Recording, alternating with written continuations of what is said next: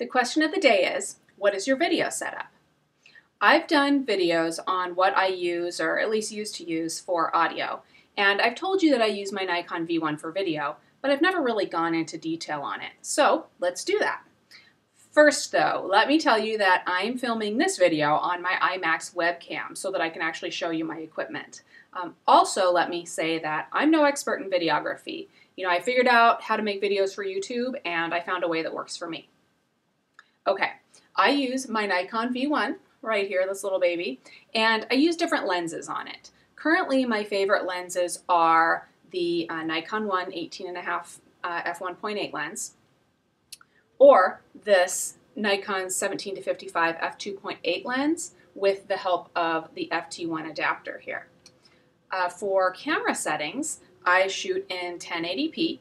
I use manual mode with a shutter speed of 1 60th Aperture and ISO depend upon my lighting situation though. I usually try to use a fairly wide aperture, like around f2.8, and then creep ISO sensitivity up if needed.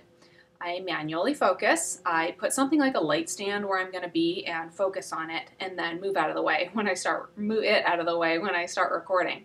Um, white balance will also depend upon my lighting. My favorite way to shoot is with natural light, uh, in which case I use the sunlight white balance setting. Sometimes I augment the natural light using some of my continuous daylight balanced fluorescent lights. Uh, sometimes I only use those lights though, in which case I use a custom preset white balance for them. Okay, for audio.